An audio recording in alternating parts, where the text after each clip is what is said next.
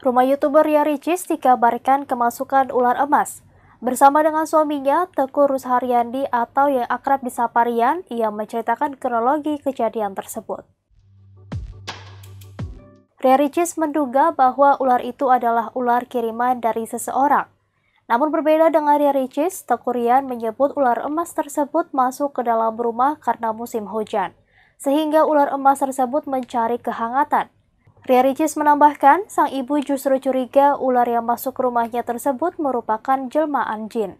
Ricis kemudian menceritakan bahwa saat ditemukan, ular tersebut hanya diam saja ketika diusir.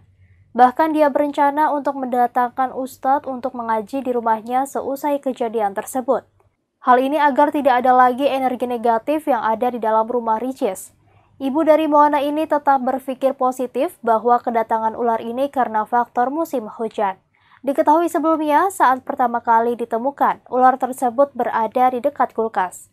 Ricis akui bingung bagaimana ular tersebut bisa nyasar hingga masuk ke lantai dua rumahnya. Kendati demikian, Ricis dan Rian tetap meminta perlindungan kepada Tuhan Yang Maha Esa dari musibah yang menimpa keluarga mereka.